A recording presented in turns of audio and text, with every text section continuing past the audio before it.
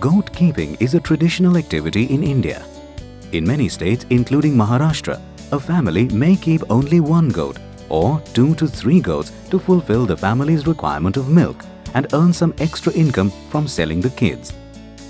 However, the huge increase in demand for goat meat and constantly rising price of meat have motivated entrepreneurs to start larger stall-fed goat farms and run them in a more organized manner like a business.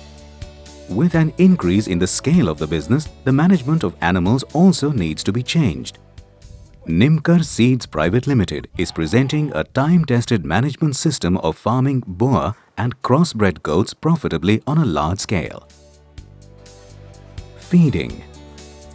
Breeding. Care of pregnant does. Management of does at kidding.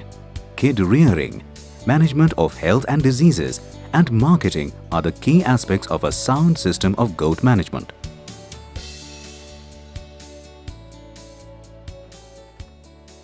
Adult female goats are does and male goats are bucks.